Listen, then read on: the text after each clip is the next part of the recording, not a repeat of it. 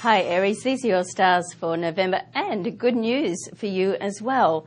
Uh, money news is fabulous this month. You're likely to get an unexpected surprise, but it may not come through until actually the end of the month. So even though you could um, hear news, of things going ahead or something being promised or finally an agreement being signed on the dotted line or whatever it is, it's likely to happen uh, early to mid month, but it may not actually be put into action until later in the month or early into the next month. So don't worry about that. But, um, you know, it will all happen. So don't worry if it seems to be delayed. The main thing is that decisions have been made, and that's the, you know, that's the start of everything going ahead um, for your love life, with Venus smiling on you at the moment, then meeting somebody wonderful is all very possible. And if you're already in the arms of somebody special, then maybe you'll be um, thinking of doing something wonderful together, like taking a trip away or buying a gift or